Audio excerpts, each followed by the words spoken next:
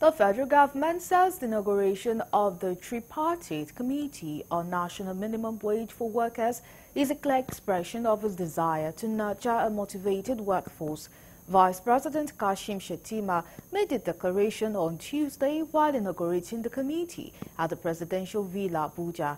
He stressed that the exercise re-emphasized the importance of workers to the development of the nation as the labor force stands as a cornerstone of the progress of every nation and that of Nigeria as being the enduring engine of the common pursuit of development.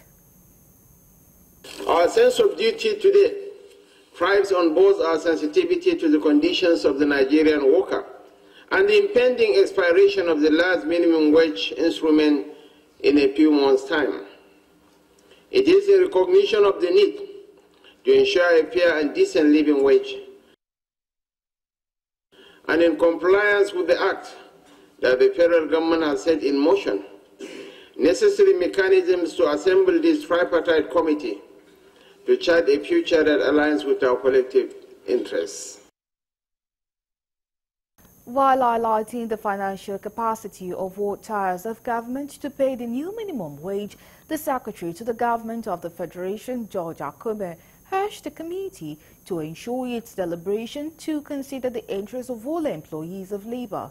Following the consideration of the final recommendation, the government's decision will be presented as an executive bill to the National Assembly to undergo thorough legislative scrutiny before being passed into law.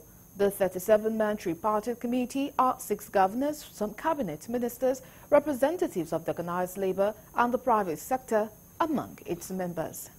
The economic landscape of our nation. The past year, the life of our nation has been marked by significant economic challenges. The removal of fuel subsidy, while a necessary step towards long-term fiscal sustainability, has undoubtedly imposed temporary hardships on many.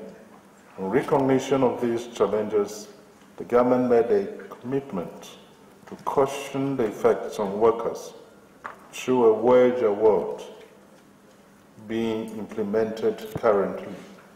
I want to assure Your Excellency that with the kind of personalities you assembled today to handle this assignment,